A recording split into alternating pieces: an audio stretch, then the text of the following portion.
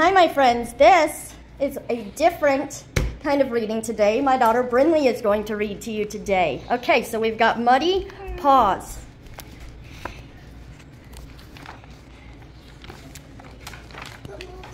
It was a special day for Ben.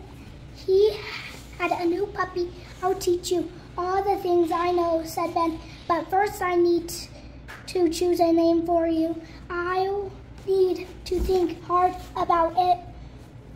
It it has to be just perfect. I don't really mind what name you choose as long as you give me lots of cuddles, thought the new puppy.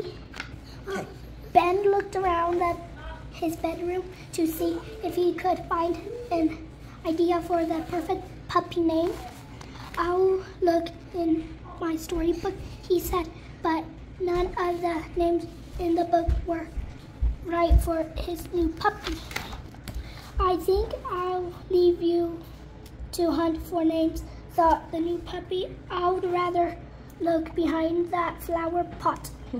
the little puppy crept around. He sniffed and then he climbed. Mm-hmm. He didn't mean to knock the flower pot over, but that's just what he did. Oops. He made muddy paw prints everywhere. Oh no. Let's go to the park. I might be able to think of a good name. There, said Ben. I'll rather rather look behind that tree, thought the little puppy. So he ran and he ran. He did did mean to jump the in the mud, but Squelch. that's just what he did. He made muddy paw prints everywhere. Again.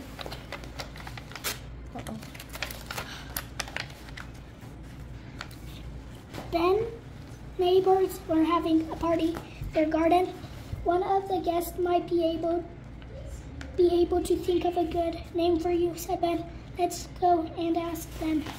I'd rather look in this pot, thought the new puppy. So he leaned over he leaned over a little bit more.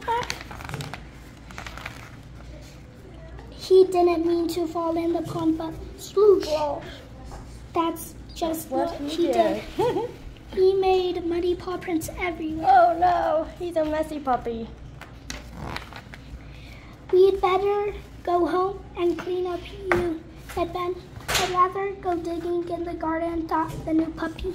So he dug and he dug and he dug. This time he found lots of things. A A lost ring. the old Banner. spanner, the toy car that had been lost. He didn't mean to bring all that mud indoors, but Pitter Potter.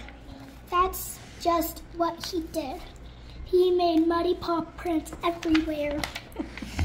and he didn't mean to find a name for himself at last, but guess what? That's just what he did.